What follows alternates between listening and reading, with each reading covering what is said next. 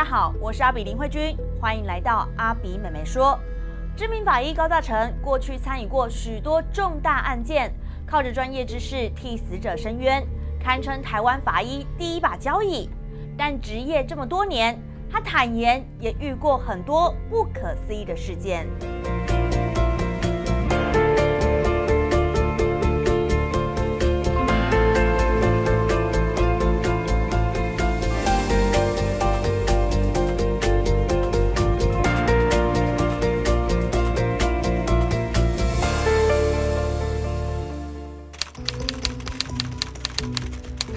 检署检察官下午联合法医经过验尸之后，却发现死者疑似遭到性侵害，又被凶手敲击头部，确认有死，啊死个惊人知影，个放互烧，好，所以这个大部分拢有熟悉啦。那看这款新闻拢会对熟人方向来追查。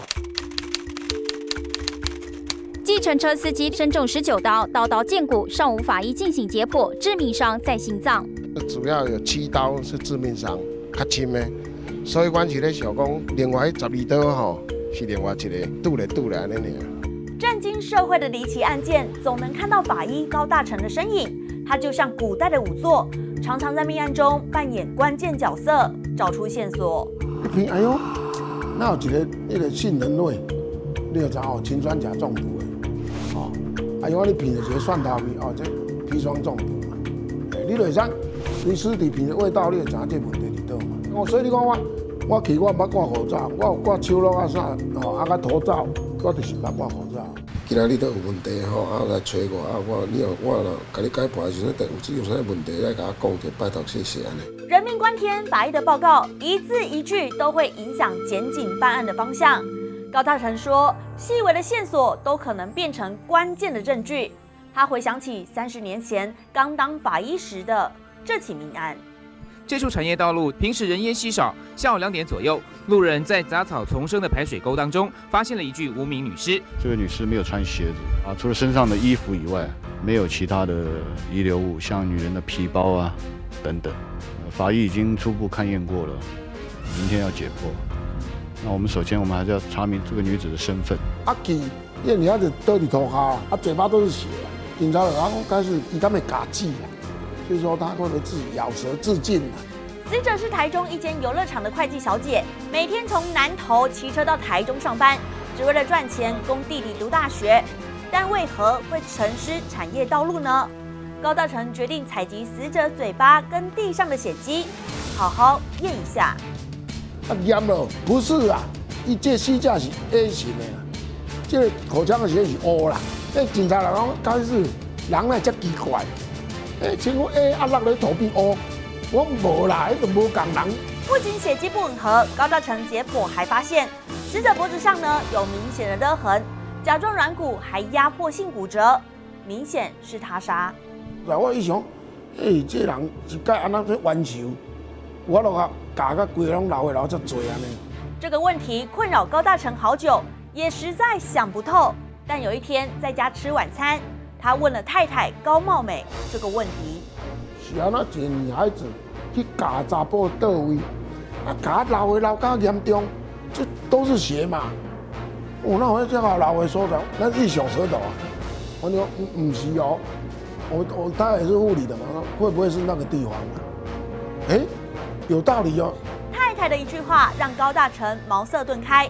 隔天，他立刻请人调查南投地区各家医院的急诊记录。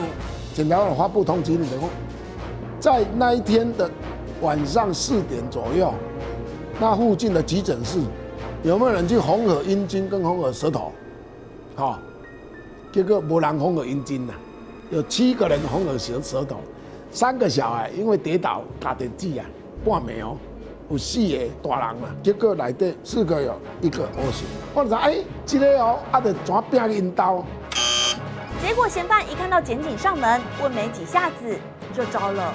刚修容可能拿起争执嘛，这女孩子滚前对，他就长得很诱人，过他的家就出来要性侵他，没有想到他咬他舌头，哦，搞这气要把他吹死。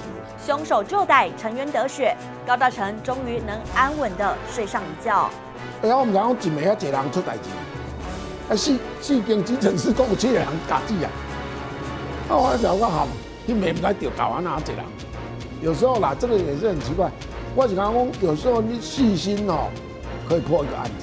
高大成见微知著，他说法医的本质呢，就是替亡者发声。他深信死后是有灵魂的存在，也曾遇过不可思议的事。经过初步调查，这两条断腿是一名年约四十岁的男性所有，身高大约在一百七十七到一百八十公分之间，而且伤口的切口非常不平整，疑似是用菜刀肢解尸体，研判有可能是一起分尸案。两千零四年三月，台中警方获报，在潭子区一处灌溉沟渠里发现了两条无名腿，但在前一天呢，高大成却做了这个梦。他拿一个指头来了，他说要叫我给他接接了。嘿，敢若大机大机啊嘛！啊，我想讲，我想讲奇怪，你手都好好，你叫我接啥？结果伊讲无伊卡。没想到天一亮，他就接到法院的通知，要解剖这对无名腿。这个剁这个骨头哦不平整，这样的气感，所以表示用用剁的，并不是用骨的。诡异的巧合让他觉得是冥冥中的安排。还有一桩在八零年代，一名台中的富家千金呢，疑似因为感情问题轻生。她前往香艳，一眼就看出怪怪的。哎，哎，这个椅子不对吧？来，让他挂手套给他挂开。哎呦，他既然跟他的脚没有交叉，我就赶紧罢工。哎呦，上，拍摄哦，你的千金哦，可能有问题哦，这个戏可能很不单纯。直觉其中一定有鬼，他向家属提出解剖的要求，却得到这样的回应。哎妈就讲，哦，你妈呢啦，阮早经死啊，你要搁破一盖，你妈妈呢。我就甲伊讲，你妈，我想你妈，你妈坚持，你等于问恁千金，哦，伊若要解破，伊就上背。但在当天深夜，他被突如其来的景象给吓坏了。讲伊拢这这细把电话哦，足暗的。我八八里后看到阮兜安尼徛一个女孩子啊，佫是灯塔门啊！哎，我都毋捌这个人，因为我大家都短头发嘛，嗯，最像。哎，我要甲问呢，伊就甲我开门。我想，哎，奇怪，你哪有我锁匙？我明明举伫手，我一看，哎，我手锁匙无去，我嘛惊到你知？这名神秘的女子到底是谁？我都活到要叫，我也袂使叫落来，你问题啊？我活个伊无去啊！我讲，哎。我边门挂一人徛伫遐，都甲我开门，锁匙嘛，我插伫门啊！我我不会看错吧？啊，过足久，我等下看，我看他两两分钟，啊，算了啦。是日有所思，夜有所梦，还是过于疲惫产生的幻觉？高大成说他自己也不知道。但没想到隔天一上班，他被助理告知家属同意解剖了。警察嘛来啊，吼，啊，把那个照片。昨天你们上吊那个女孩子的照片都放在桌上，我就抽起来，哎，抽起来，哦，那面甲张龙港管，迄个型啊！高大成吓一跳，赶紧打电话给检察官。我检察官，我看赶快解剖好了，他好像要要来找我了。我就紧走，就怎啊解剖嘛？破内底有安眠药嘛？啊，你个吊痕，个平息的，个上吊，啊，明显他杀嘛。原来是死者男友移情别恋，担心向死者提出分手之后呢，会被女友追讨三百万的债款，竟然狠心杀人，还故不一阵。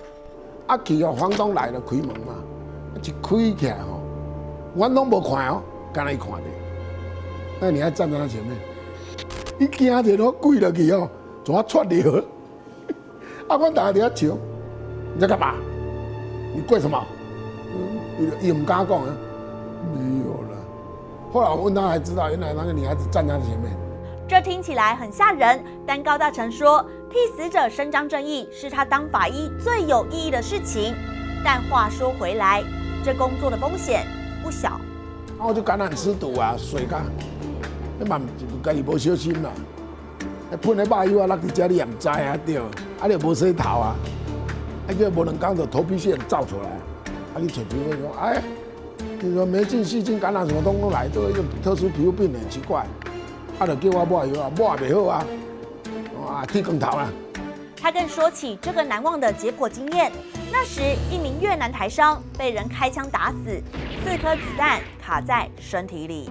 六点你要开呢，你看查因某，啊，就叫小戴，伊讲唔是啦，阮先生 AIDS 吼，你我看，可能看慢呢，伊嘛好心啦。